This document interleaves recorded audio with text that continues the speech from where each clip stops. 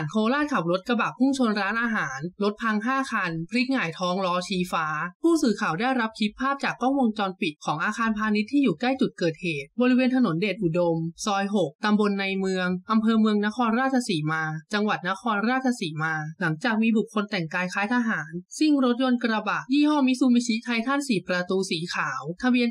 9310 นครราชสีมา ชนแหลกเมื่อเวลาประมาณ 21นาฬิกา40 นาทีของวันที่ 21 มกราคมโดยภาพวงจรปิดเผยให้เห็นนาทีรถกระบะขับมาอย่างรวดเร็ว ก่อนจะพุ่งชนรถเก๋งยี่ห้อโตโยต้ารุ่นอัลติสสีขาว ทะเบียน